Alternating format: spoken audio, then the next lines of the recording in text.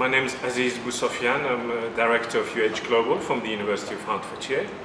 This is my first visit to UPES and I have to say that I'm extremely impressed by the campus but also it's very pleasing to see a growing university that is focusing on those disciplines, those skills that would build the future of India and not just focusing on delivering more business, more marketing program.